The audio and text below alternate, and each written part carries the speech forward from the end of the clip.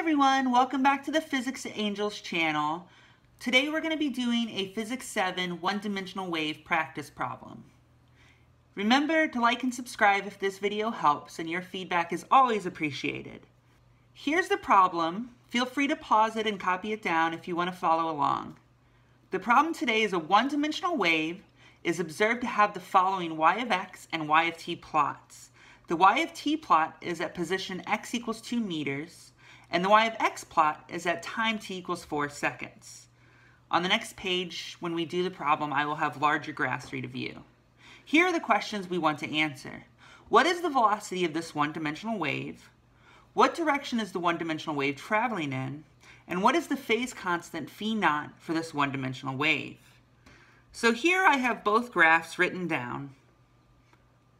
For this graph, which is a function of time, we are looking at the wave at a specific point at x equals 2 meters as given in the problem. For this graph, which is a function of position, we are given that we are looking at this graph at the specific time 4 seconds. We can look at these two graphs and find similarities and figure out how this wave is behaving. So our first question is, what is the velocity of this one-dimensional wave? We're given the equation velocity equals the wavelength over the period, which makes sense because velocity is measured in meters per second, wavelength is measured in meters, and period is measured in seconds. So using these two units, we still get units of meters per second. So our unit analysis checks out. So for this part, we want to find out what our wavelength is and what our period is. To find out the wavelength, we want to look at the position graph because the wavelength is the distance between two points that are the same on a graph. So we, if we look at this point here at x equals 2 meters, we want to find another point on the graph that is trending downward after it crosses the intersection for the second time. So if we look at this point here, these two points are just starting the wave to replicate again. So the wave from here goes down, up, and then back down. And if we follow this, it'll go down, back up, back down.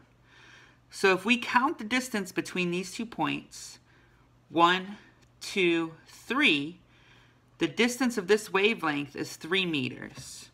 So lambda, the wavelength, is three meters. We do a similar process for the period. We look at this time graph that y is a function of time, and we pick a point like we did before. Let's pick the point time equals 2 seconds. If we follow this along again to another similar point, we see that we have to go up and then down and then back up. And starting from here, we will go back up and down and up again. So this is the end of the one wavelength. And this is the also the end of one period on this graph. So if we count how far along, how many seconds this is, we can see that it's one, two, three, four seconds. So our period is four seconds long. Dividing these two, we get a velocity of 3 over 4 meters per second. And that is the first part of the problem we wanted to answer. The next part of the problem we want to answer is what direction is this one-dimensional wave traveling? This is a bit trickier, and I find that uh, whether you're a student or a TA, that this can really trip you up if you don't have a good way of understanding this. So an example I'm going to use is imagining a rubber ducky. For a rubber ducky, it can float up and down in the wave, or it can move along the wave.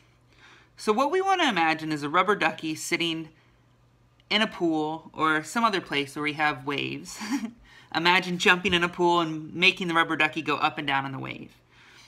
If we look at this graph, which is the y as a function of time, we can see that we're looking at a specific point along the wave. So we can imagine the rubber ducky moving up and down in this wave as a function of time.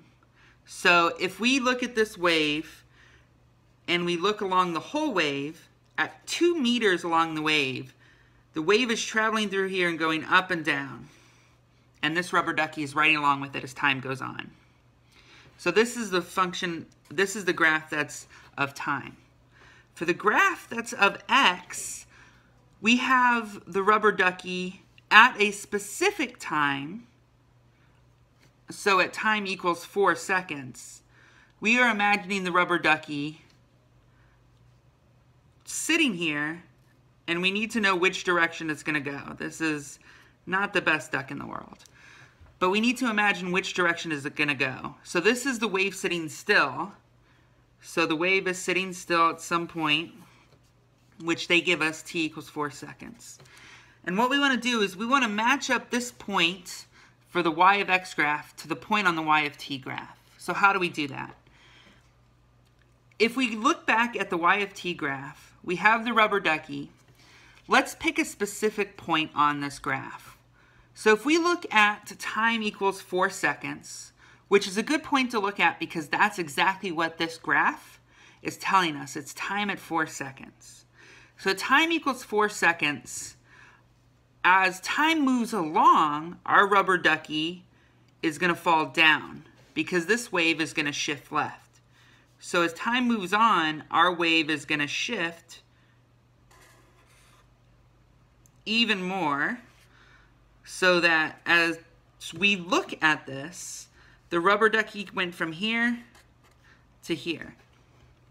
Okay? So what we want to do is imagine as time moves on, or as time goes backwards, does should the rubber ducky go up or down? So here we're saying as time moves on to 5 seconds, the rubber ducky should go down. And as time goes back to 3 seconds, the rubber ducky should go up. So let's look at this graph, the y of x graph. If we want to position our rubber ducky, once again, at x equals 2 meters, it makes sense that it's intersecting at this point, x equals 2 meters, because we saw over here when t equals 4 seconds and x equals 2 meters, it intersects the graph. These are the same points. So if we imagine shifting this graph so that time moves on. Let's say we want to move to t equals 5 seconds. Do we want to shift this graph left or right for the rubber ducky to match the position over here vertically? If we shift this graph left, this point is going to move over here, and so the rubber ducky will go up. If we shift, I'm sorry, if we shift the graph right, I misspoke. This is right. If we shift the graph left, the rubber ducky will go down because this point moves this way. So, as time goes on, do we want to shift this graph left or right on the position graph?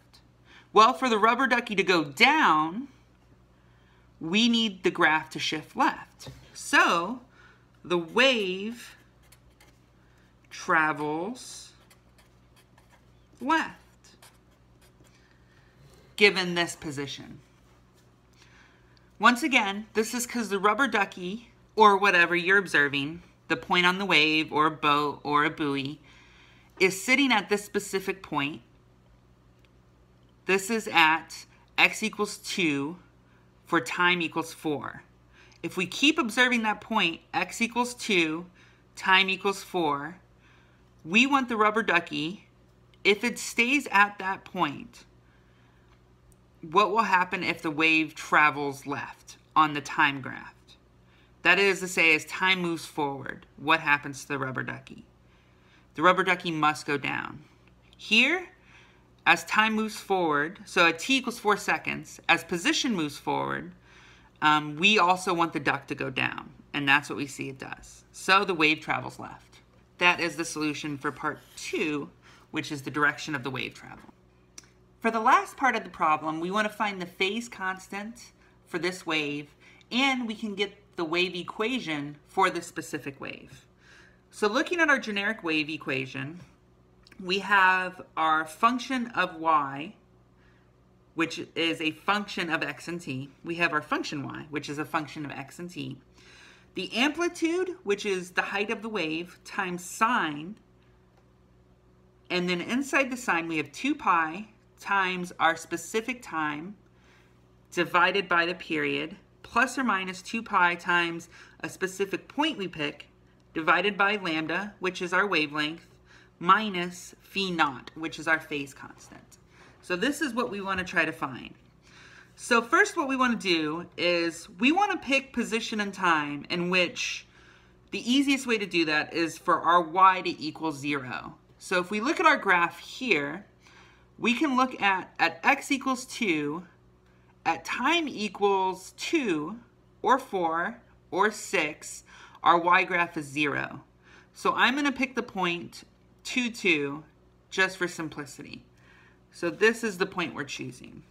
The position is 2 and time is 2. Our amplitude is the distance from our horizontal axis to the magnitude, um, which is 3 meters, times sine of 2 pi.